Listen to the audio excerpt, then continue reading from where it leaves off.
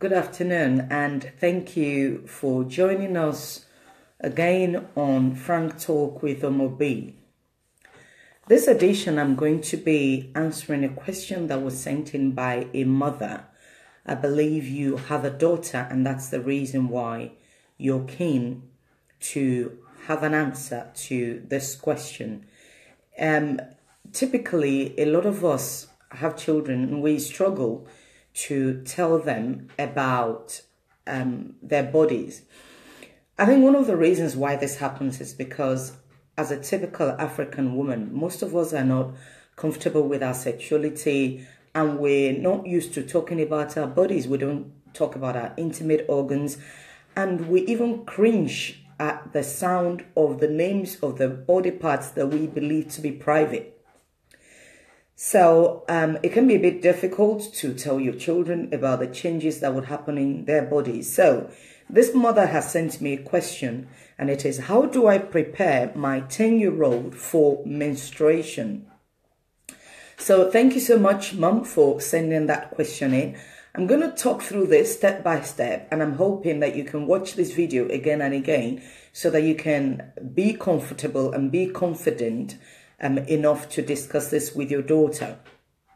I will start by saying that a lot of 10 year olds actually know quite a lot. They know more than you think they know. The reason being that they're being raised in a generation that is slightly different from the one in which we were raised.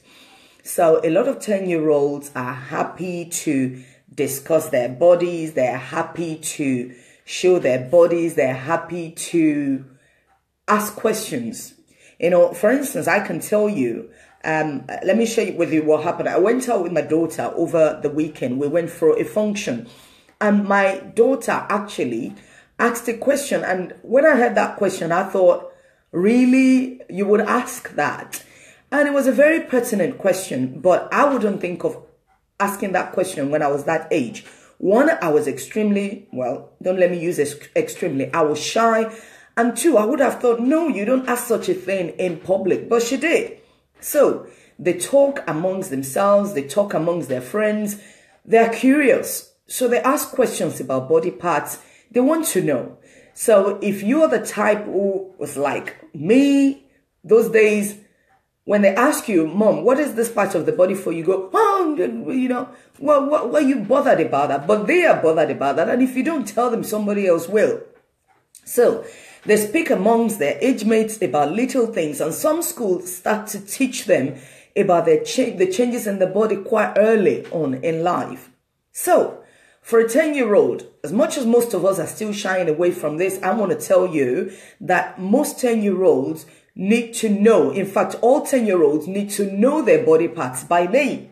Your 10 year old should be able to call vagina a vagina. There is no way going about it. It is a vagina and there is a use for vagina. In your talk, you know, in your laughing moments, in your jesting moments, you can choose names that you want to call it. There's so many names. People call it flower, people call it, you know, girly beads, which is what I call it with my daughter. We call it girly beads. With people call it privates. There's so many words you can use for it, but let them know the exact name. Okay. Now, ask them if they thought of how they would look when they grow up. I'm talking about starting the conversation now. He said, look at me, darling. I used to be this size. So you can show them their baby picture and show them the picture now at 10. Say, what do you think you will look like in about 10 years time? Most of them will tell you, I think I'm going to look like you, mommy. So that is a nice place to start. Listen to their answers. They know more than you think they know. You may get a word or something that they will say, and you will use that as a leverage to start a present discussion with them. If they have no clue at all, start by telling them that little girls grow up into grown up ladies and their bodies change as they go. Now, you can start by explaining to them that this thing here in our skull, which is our brain, controls how our bodies change. It controls all the growths that we have in our body. It's the one that tells our fingers to move. It's the one that tells our lips to move. That way they can start to think that, look, this is a magical change that is happening within their body. Tell them that the same way there are alarm clocks, the brain alarm clock goes off, and at a particular age, which you are or you're going to be very shortly, your alarm clock is going to go off and you will start seeing a few new things that we're going to be excited about. Now, there was a website that I found quite helpful. I think I'm going to find that website and I'll post it as a link under this so that you can direct your children to it. Now, let me tell you what I did. I started the discussion with my daughter quite early and I used to just throw questions at her and then she'll go, mm? Most of the time she'll look at me as though she's a bit embarrassed, but I choose to not wait for an answer then. I just give her a little longer. And then I say, darling, have you had a thought about what I asked you the last time? And that way she'll feel like we're having the discussion at her pace and not mine. And then one day I opened to this website and I said, darling, I'd like you to check something out on the internet. She doesn't have a lot of access to the internet. So when I give her something on the internet, she thinks this is going to be fun. Mom wants me to see this. So I left her on that web page and I say, come on, have a read. So I left her with that. The same thing I did with my son. At the time when we started to talk about those, I gave them the website and I said, have a read. And she goes, oh, oh, really? And I thought, what was that? Did you find something that was interesting? And I tell you, she started to tell me some of the things that the girls in her class were starting to talk about. So that is interesting. These people want to hear, they want to hear the raw truth and they want to hear it from bases or, or, or sources that are trusted. So make sure they hear the right time. So this is how I arranged it and I'm hoping you can bring yours in in any way that you like. But let me just read it out to you how I arranged it. I said, so when the brain alarm clock goes off at about age 9 or 10 or above that, one of the first things you start to notice is that your breasts, breasts, you can call it any other names, but breasts are breasts. You notice that your breasts start to hurt a little bit. Okay, they need to know that it's going to be a little bit so they're not scared that something is going to happen to their body that is going to cause them a lot of pain. So you tell them it's going to start to hurt a little bit, and that is because the breasts are ready to start growing. Most girls who are 10 year olds in the developed world and in developing world, they already wear some kind of camisole. They wear something that they wear to school. So most of them are excited at the thoughts of wearing their first bra. And they already know that at some point that their breast will grow. So you need to let them know that when this is going to start, they may have a little bit of discomfort, which tells them that the breasts are ready to go. So you will tell them that most of the time this will happen on one side and after a short while the second one will start. And after a short while the pain will disappear. Whilst that is going on, you may also notice that you start to have hair on your girly bits, on your private or whatever you call that. See? And you see, as you start to make, tell them this, they are getting interested in what you're talking about. Tell them that the breasts are going to grow. They're going to start having hair. They may have hair in their underarm. They may have hair on their girly bits. As that is going, they will notice that the body too is starting to change. For instance, some will notice that their hips are starting to get a bit wider and rounder. And you tell them Make it fun for them by explaining to them the outcome of this. It will make you far more beautiful than mommy is. A lot of girls want to be beautiful and they need to know that the changes that are happening in their bodies will give them good results rather than change them. People can get anxious. Children can get anxious about changes, even though these changes are natural. So you need to help them see an outcome. So make it simple by explaining to them that it's going to be a beautiful outcome afterwards. So, going forward, after all these changes that I've mentioned, you need to explain to them that when the alarm goes off, there are other things that are happening within the body that they may not see. For instance, every woman has got something within their body which releases eggs, and these ones, the alarms go off too. And these ones get them ready for full womanhood, for full adulthood.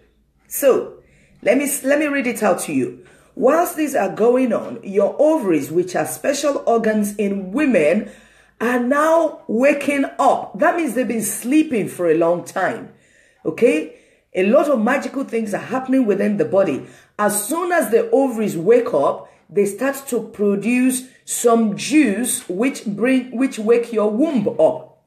So the ovaries wake up, the wombs wake up all because of the alarm clock.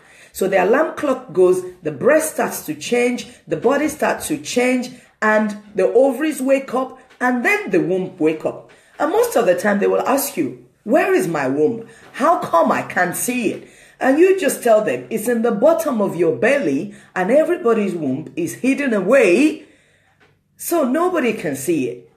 Children are going to ask you all these questions. So there's no way you can cut corners. So you need to be ready with an answer. That's why I said watch this again and again so that you'll be comfortable about discussing this so that when they ask you questions, you can talk to them about it.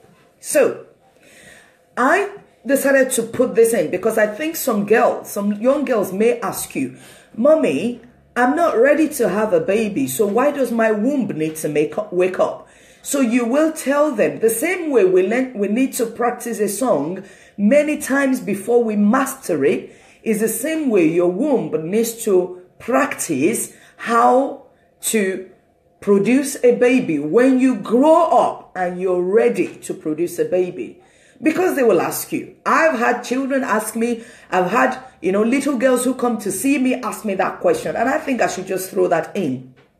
Now, you explain to them that at some point, every month after their womb is now fully ready, they will need to bleed. You need to say the right word. They will have blood coming out of their girly bits so that they don't get scared and think that they're hurt the first time they start to bleed, which may be a day when they're in school. So you've already prepared them and you've told them that all the body changes means that your womb that has been asleep for a long time wakes up. And how you know is that you start to bleed from your girly bits, which is connected to your womb. Explain to them that this will happen once a month. I must stop here and explain to mothers that most girls who start having their periods do not have regular periods. So even if you have a 10 year old, a 12 year old, a 13 year old, within two years or so of starting their periods, most of the time the periods are not regular. They may have it now and they don't have anything for four to six months. As long as they're well in themselves, you don't need to worry. So you need to know this as a mother, even though you don't need to tell your 10 year old. Now, I say this in completion there are lots of things that will be happening in your body once you are a little older than nine years. If you don't understand what they are, come and ask me. What you're doing is you've given them a little bit of information, which is going to be topic of discussion in school the next day. Because they're going to get to school and they're going to say to their friends that my mommy told me that there's an alarm clock here that's going to go off and you know, there's a lot of drama about it. And hopefully their own mothers have already advised them and they've told them what it is. So you can never prepare a, a child 100% for menstruation because it's totally new to them. But you can give them a little bit of information that can help them to be ready, to be excited about it. Children want to be excited. They don't want to be given the huge responsibility of having to worry about the changes in their body. So make it simple. Let them know that you went through exactly the same thing, otherwise, you wouldn't have been able to have them. Let them know that every woman goes through this, this change and the time differs from one person to the other. Some people, the alarm clock goes off at 10. Some people, it doesn't go off until 12. So they know that they're not anxious if they don't start to have their periods or they don't start to have breast buds at the time when other people do. I'm hoping that this has helped. The question you've asked me is, how do I prepare my 10 year old for menstruation? I say, one, start to talk to them about the body. Let them know the names of their body parts. Let them know the duties of their body parts. The body parts that are hidden, find ways in which you can express what they do. For instance, the womb. Let them know that babies are kept in the womb and babies grow in the womb. That sort of a thing. So we don't hide anything away from them. Tell them that they've got an alarm clock within their brain that goes on. And once that goes, a lot of changes start to happen. They notice the changes in their breast. They notice it in their underarm. They notice it in their privates. And after that, the same clock turns on something within their tummy, which is the ovary that produces small eggs on a monthly basis. And after this happens, it wakes their womb up and they may start to bleed.